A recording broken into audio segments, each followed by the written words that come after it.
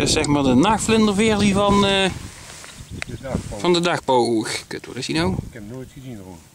Ja, ik weet ook niet of ze zeldzaam zijn of algemeen of zo. Je moet aan Robert vragen, maar deze is een.